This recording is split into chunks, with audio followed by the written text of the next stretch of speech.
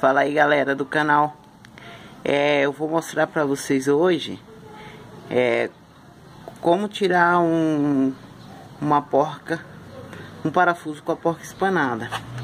Aqui no motor é, Essa porca aqui Que, é, que é por onde ah, É mais fácil tirar O parafuso Tá espanado. O que que eu fiz? Eu prendi prendi com alicate de pressão. E do outro lado, assim, às vezes a gente tem alguma chave também que tá gasta. Mas nesse caso aqui foi o parafuso, a porca. E do outro lado, o parafuso, aqui ó, o parafuso tá bom. O que que eu fiz?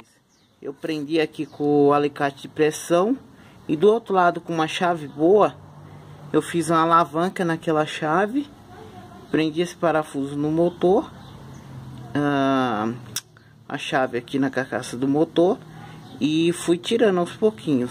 E aqui ó a chave aqui do outro lado ó, aqui ó a gente tem que apoiar bem. Deixa eu ir lá. É, que apoiar bem aqui no parafuso para não esplanar ele também ó.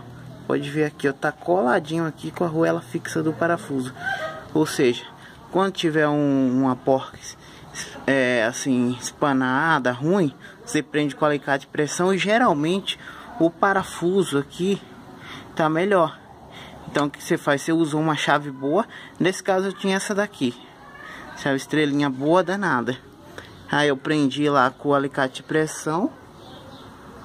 Prendi aqui com o alicate de pressão.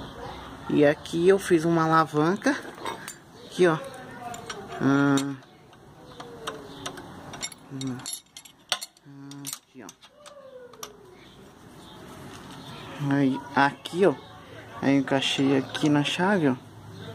Segurei aqui e desci devagarinho. Justando aqui, ó. Prendendo bem certinho. E olhando lá. Aí eu fui aos pouquinhos. Aí ele destrava. Bom, essa é a dica pra arrancar um parafuso quando a arruela tá tá espanada. Valeu e até a próxima.